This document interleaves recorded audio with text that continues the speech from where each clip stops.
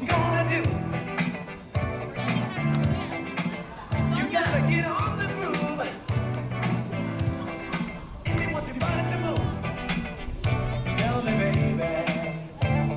how you gonna do it if you really don't wanna dance? By standing on the wall, get your back up off the wall.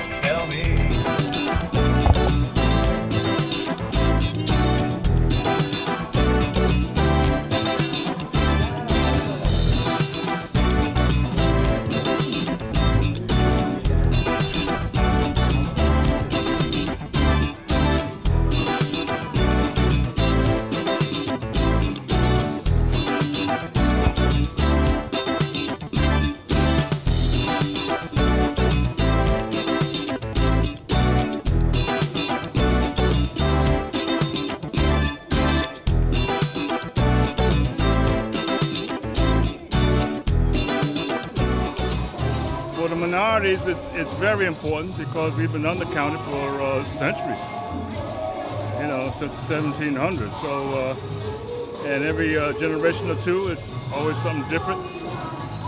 So, uh, you know, so it's uh, important for us, but important for everybody as a whole. You know, so, um, you know, the community uh, needs it, you know, so we can get our bridges fixed and you know, build some senior centers, citizen centers and stuff like that. You know, but uh, people stay home, you know, we're not going to get that money, and then we're going to complain. So, you know, so it is very important, very important. It's you, you help one community, you help everybody.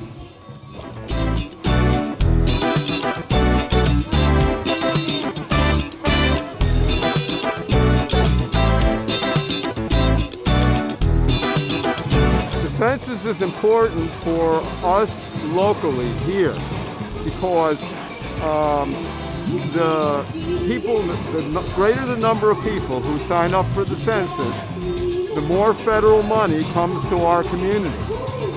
Um, and also, people have heard of that expression, taxation without representation. Right now, we have a, a congressperson that represents our area, District 19 if we lose, if we don't fill out the census, then what can happen is less population, less people uh, signed up for the census, less counted, and the result of that is your office of representation, our congressman, can go away. So, so we lose local representation. That's what's at risk if not enough people sign up for the census, because it goes by counted population. So money and representation, two big factors with the census.